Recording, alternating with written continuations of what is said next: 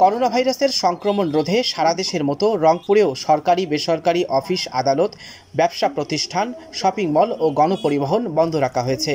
বৈশ্বিক এ মহামারীতে সামাজিক দূরত্ব বজায় রাখতে দেয়া হয়েছে দশ দিনের ছুটি। শহর বন্দর গ্রামে জনসমাগম এড়িয়ে ঘরে থাকতে উৎসাহিত করা হচ্ছে জনগণকে। এই পরিস্থিতিতে জীবনের ঝুঁকি নিয়ে বাহিরে বের হয়েছেন নিম্ন আয়ের মানুষজন।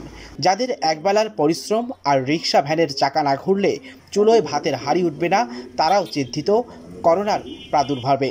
আমাদের তো গরিব মানুষ ভাই এখন ইনকাম নাই। কীভাবে সংসার চালাবো কীভাবে খাব? আমরা গরিব মানুষ ভাড়া উঠতে পাইতেছি না কিছু শহরের ছোট যানবাহনের পাশাপাশি চলাচল করছে জরুরি সেবায় নিয়োজিত পরিবহনগুলো। খোলা রাখা হয়েছে ফার্মেসি ও নিত্য প্রয়োজনীয় খাবার দোকান। ব্যাংকের সময় সীমিত করা হলেও টাকা উত্তোলনের বুথ খোলা রয়েছে। তবে এসব বুথে নেই করোনা ঝুঁকি মোকাবেলায় গ্রাহক সুরক্ষার উদ্যোগ। এখানে অনেক লোকজন আসতেছে কেউ গ্লাভস পরে আসে কেউ মুখোশ পরে আসে কেউ আবার ছাড়াই আসে। আমাদের এখানে হ্যান্ড ওয়াশ তারপরে আরও জিনিসপত্র দিতেছে যে স্যারেরা হয়তো আজকের মধ্যেই দেবে। এদিকে করোনার মতো ভয়াবহ এই ছোঁয়াচে রোগের সংক্রমণ থেকে জনগণকে ঘরমুখো রাখতে মাঠে নেমেছে আইনশৃঙ্খলা বাহিনী।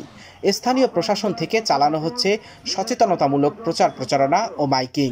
আমরা মূলত আমাদের রংপুর মেট্রোপলিটন পুলিশ কমিশনার মহোদয়ের নেতৃত্বে এবং নির্দেশনায় আমরা সকল থানা, পুলিশ, ডিবি সহ সকল ইউনিট, অত্র রংপুর মেট্রোপলিটন এলাকায় পরিষ্কার পরিচ্ছন্নতা যাতে মানুষ থাকে এবং ঘরের বাইরে জরুরি প্রয়োজন ছাড়া কেউ যাতে না আসে এবং তারা নিজেরা পরিষ্কার পরিচ্ছন্ন থাকবে এবং তাদের পরিবার পরিবার পরিজন সহ পরিচ্ছন্ন থেকে দেশ এবং জাতিকে সুরক্ষায় তারা এগিয়ে আসবে এই আহ্বান জানাচ্ছি।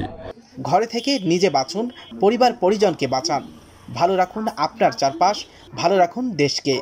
রংপুর থেকে ফরহাদুজ্জামান ফারুক বার্তা টোয়েন্টি ফোর ডট কম। আপনাদের এবং বাংলাদেশের সুরক্ষায়। সকলে ঐক্যবদ্ধ হয়ে আপনারা কাজ করুন।